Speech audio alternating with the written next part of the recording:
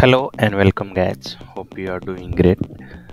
So in this video today we will see how to enable or disable the sign up option.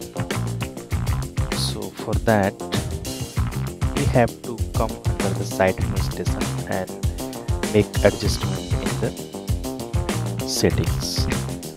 So under sign up administration come here under plugins. And here you will find authentication so under authentication you can see here the manage authentication click on it. And now you see if you want to disable. You can disable this here. So currently it is enabled let me open this url let me log out from here come to login. And now you see here create a new account. Option is appearing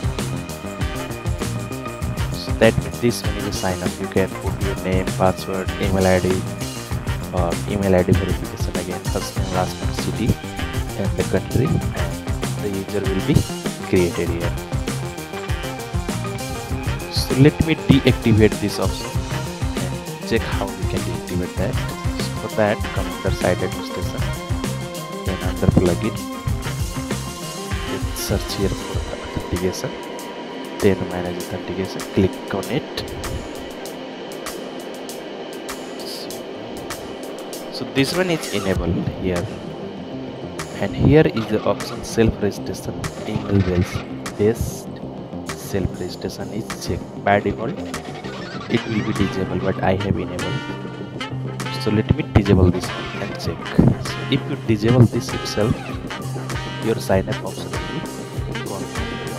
So let's see again. And now you see no sign up option appearing here. Here. let me enable again.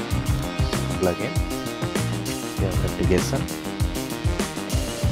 so this should be also enabled so this one also should be enabled. Like you have email based self registration you need to enable this by clicking. Then you also have to check this and select this. Save. Check out again and you see your uh, sign up option is appearing again. And now you can see create an account